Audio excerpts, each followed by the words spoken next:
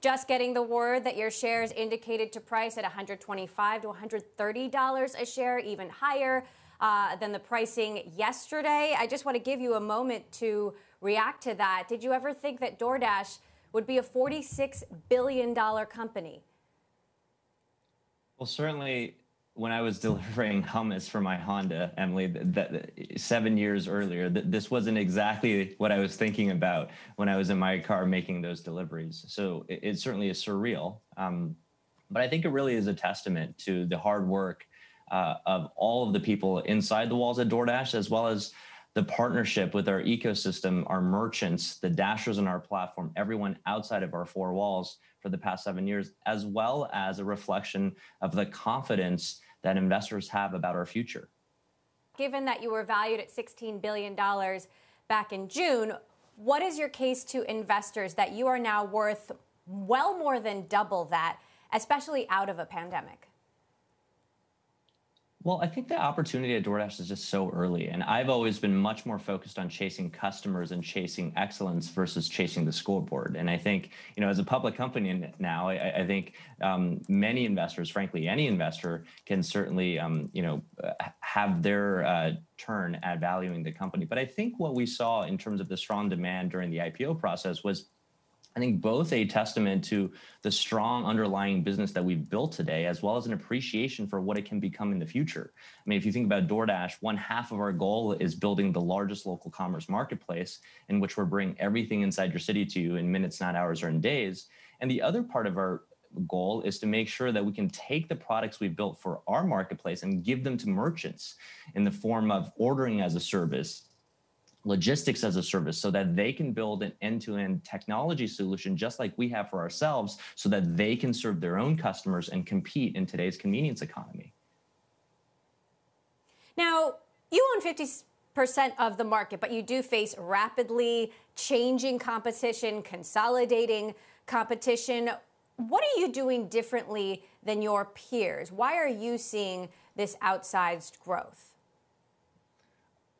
Our, our growth really comes from the fact that we always obsess over building a superior product. And I think that can be revealed in a lot of the industry leading retention um, metrics that are available um, and, and, studied by analysts. You know, for us, it's really offering consumers an unmatched combination of the selection of restaurants we bring, the quality of the delivery experience itself, as well as the affordability of the service that have allowed us to grow largely from our existing customers and therefore um, have a lot more ability to invest and reinvest in acquiring new customers as well as building new products as well as entering new geographies. So it really starts with having built a superior product. That superior product is what also has allowed us to build a massive scale advantage which is key in a network based business like logistics.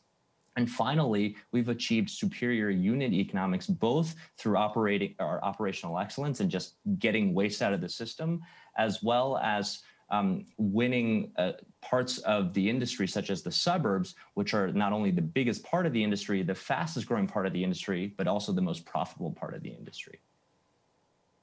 Right, and you you definitely sort of colonized the suburbs early on. So if you have 50% of the market now, what is your outlook? What will your market share be in a year? What will your market share be in five years? Well, we don't chase market share at DoorDash. We chase excellence and we chase the customer we have a lot of work to do. I mean, today we are privileged to serve 390,000 merchants every month, um, 18 million monthly active consumers, and over a million dashers. But that those statistics, they're they're averages. They're not distributed uniformly. There may be certain neighborhoods where we should offer you more selection. We should get faster. We should be more affordable. So we have a long ways to go.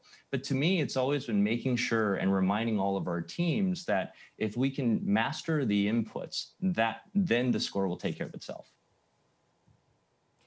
Now, look, growth has surged in the pandemic, but a vaccine is around the corner. When we get a vaccine, even you, the company in your risk factor, say growth is likely to slow. How much do you think growth will slow?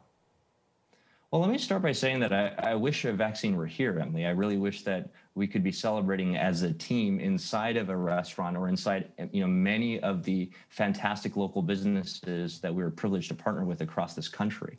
Uh, and you know the way I've, I've always thought about um, the, the business is I've really thought about just how early we are. Only 10% of restaurant sales are being delivered today. The vast majority, 90 plus percent of the industry still happens through a non-digital channel, through a phone call, through a pickup order, through a drive-through. And so if you think about what's happening, I mean, we're playing in one of the biggest yet still most underpenetrated industries in the world. That's moving online very quickly, where a lot of these uh, physical experiences are now becoming digitized into e-commerce experiences and we're playing our role in both growing the industry by bringing in customers for the first time as well as empowering these businesses to have the same tools that we and others have so that they can compete on their own. Now all of that said so many restaurants are struggling. DoorDash commissions can be as high as 30% of an order. I know that you're bringing in new business, you're bringing them new customers that they may never have had before, but they say that they are getting crushed, many of them. You know, what are the chances that as you scale, you can bring commissions down? Well, look, uh, it certainly is a very tough time for restaurants. And, and, and for us, our mission is to transform brick and mortar businesses like the local Chinese restaurant where I grew up as a dishwasher. So I've, I, I, certainly understand how difficult these times are, and never have I seen anything more difficult in the past three decades for the industry. And that's why we were the only platform to have cut our commissions by 50%, an investment over $100 million at the onset of this pandemic. It's why we built commission free products such as DoorDash Drive, as, as well as DoorDash Storefront, so that restaurants can get their own customers through their own channels.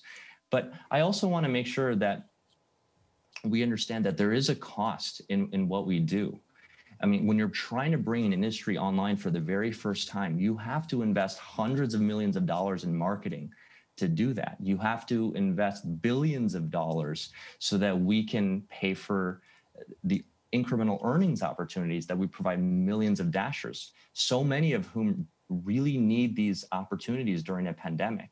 You have to pay for payment processing and customer support. And that's why we're very proud of the investments that we've made that have allowed restaurants on DoorDash to have six times the odds of surviving the pandemic than the average restaurant in the industry. Now, what about the regulatory headwinds? Prop 22 did pass in California, meaning you don't have to reclassify gig workers as employee, but this could end up being a battle in other states. You also have cities out there that are trying to put caps on the commissions that you take. Are these kinds of regulatory issues something that you think the food delivery business is going to have to deal with forever? Well, if you think about Prop 22, Prop 22 was a win for Dashers. That's the most important outcome that came from Prop 22. And it really was trying to solve for two principles that we have been fighting for at DoorDash for our entire history and, and certainly will be continuing to commit um, our resources behind. You know, the first is making sure that the dashers on our platform can have the same flexibility that really no one else offers and, and continuing that process where work is you know um, paying off and, and surrounding our life as opposed to the other way around and then second that we can give the dashers the protections and the security that they deserve. And I think really that's what Prop 22 really stands for. And I'm really proud of the fact that, you know, by a wide margin, 59 to 41, citizens in California on both sides of the aisle in the most progressive state of California in this country uh, vouched for it. And so we are now working with elected officials across all levels in all parts of the country to really try to take a lot of the principles behind Prop 22 and create a uniform standard where we're developing a third way of work.